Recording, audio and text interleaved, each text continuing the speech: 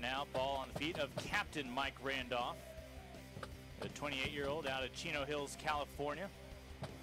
Ati, open frame and polishing it off for the Scorpions, Elizondo.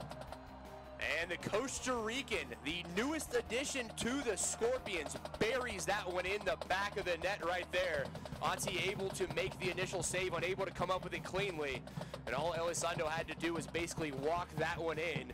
We take a look at the replay right here. Zahorski on the left boot fires it. Ati able to come up with the save and off the chest, and then eventually the right boot of Elizondo for the first goal of the match. Cesar Elizondo, just enough patience after plenty of hustle. That ball started to climb up his body, realized he had time to collect himself and put this in for the lead.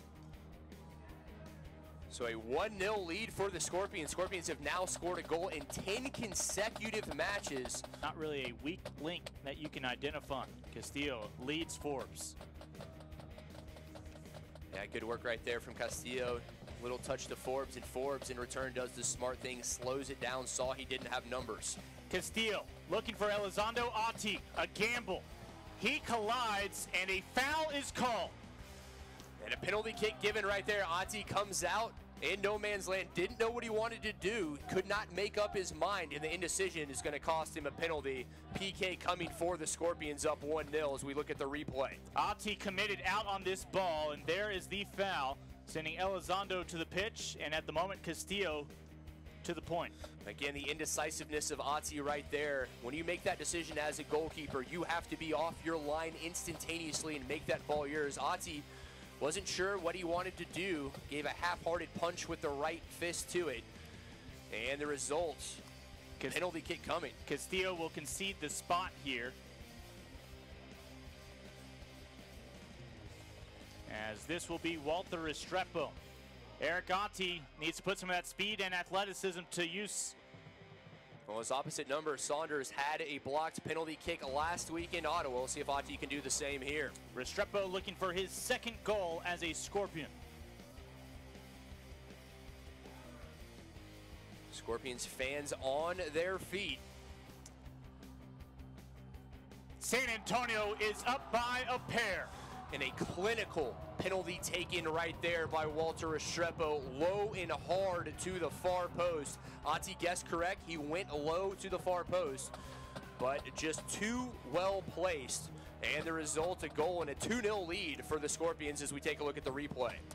Just under Ati, could not make a fingertip stop, and that will prompt a change from both sides, including a change in the midfield for San Antonio. Josue Soto will enter.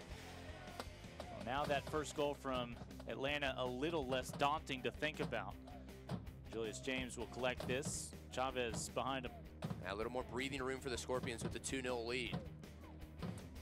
And there it is. And that's the difference the PK makes. And just as I say, a little more breathing room for the Scorpions. It is back to a one-goal lead. Beautiful strike from outside the box. That one just put across frame. Saunders unable to do anything there. And we take a look at the replay here. You see the end of it. Saunders unable to do anything. A big shot from the outside. You see the curve on that one.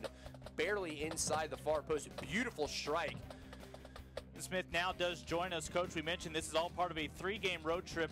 What has to happen between now and next week's matchup against Carolina? Uh, I mean, there, there, was, again, we had flashes today where I thought we played well. We, we you know, we put ourselves uh, in a tough spot early on in the second half and then even tougher with a PK. But uh, I thought we made some adjustments during halftime that, that, that reflected positively on our performance. So we're just going to have to build on that and uh, hopefully not be so hard on each other maybe the next, uh, next outing. Four points here at home. The Toyota Field has been very kind to the Scorpions. And, well, we saw making his debut a couple weeks ago here at Toyota Field. And Cesar Elizondo, he was so close to finding that first goal finally got it tonight, and he has been able to plug in immediately with this team. He bragged on you and the coach is a big reason why this team's chemistry has uh, been so easy to forge. Yeah, I mean, Elizondo's been a great addition. Uh, when that opportunity, you know, presented itself, we knew we had to jump on it. Uh, since arriving, he's been a class act. Great pro, both on and on the field. Works extremely hard and fits perfectly into our system and style of play.